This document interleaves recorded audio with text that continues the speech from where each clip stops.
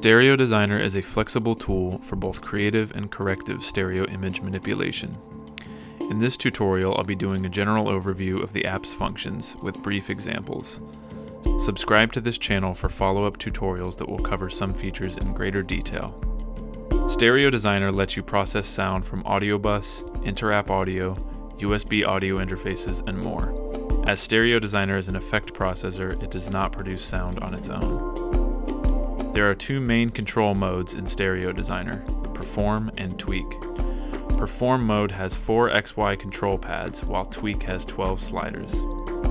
The interface is divided into two halves, with controls for the left channel on the left side of the screen, and controls for the right channel on the right side of the screen.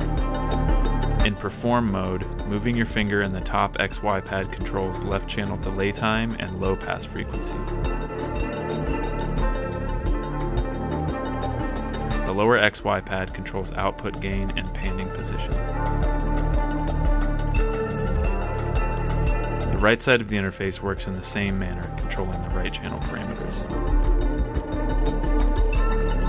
Tapping the button at the top center of the interface switches between Perform and Tweak mode. Tap the Save button twice to save the current settings as a new preset. Below the Save button is the presets list. This can be scrolled up and down and tapped to select a preset. You can also delete a preset by swiping to the left and choosing Delete, or share a preset by doing a long press on the preset you'd like to share and choosing an option. Below the presets list, there are three buttons. The link button allows you to link both channel parameters, so that controlling the left channel also controls the matching parameter for right channel, and vice versa. Bypass button bypasses Stereo Designer's effects, allowing you to hear the dry, unprocessed signal. The mute button mutes audio input and is a momentary switch. When held down, audio input is muted. When a finger is lifted off the audio is unmuted. This allows for rhythmic audio cuts to be performed. In tweak mode you have additional parameters to adjust per channel, including input gain, delay, pan, high pass, low pass, and output gain. Input gain controls the incoming sound source level. Delay is used to create an offset between the left and right channels, which is useful for doubling and stereo widening effects. Pan controls the channel's panning position. You can pan each channel independently, so you can manipulate the original stereo placement quite drastically. High pass and low pass filters per channel allow you to quickly shape the channel's tone independent from the other, another simple and quick way to achieve stereo separation. Output gain controls the outgoing gain.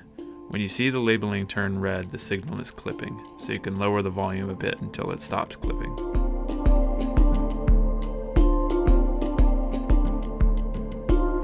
The top left corner of the screen there are two options for input and mode.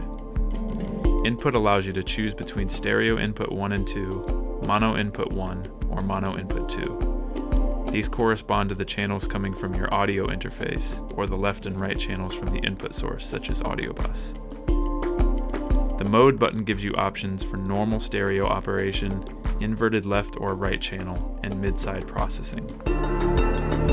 In mid-side processing mode, you can control the center audio information separately from the sides, allowing for powerful control of the sound. When in mid-side mode, the left side of the screen controls the mid-signal parameters, and the right side of the screen controls the side signal parameters. Here I'm going to raise the volume of the side signal, then lower the volume of the mid signal. You can also apply filtering and panning for even more control of mid-side signals. Be sure to check out my other apps EchoPad and Swoopster. Thanks for watching. Make sure to subscribe to my channel for more tutorials and iOS audio tips.